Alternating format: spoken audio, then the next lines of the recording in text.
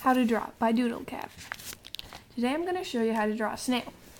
First you start out with a circly swirl. Then after that you draw a tail and a curved head. Then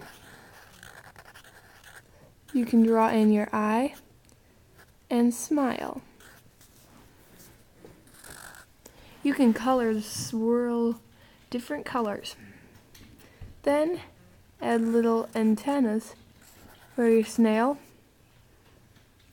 And then you can also decorate the swirl with dots and other colors.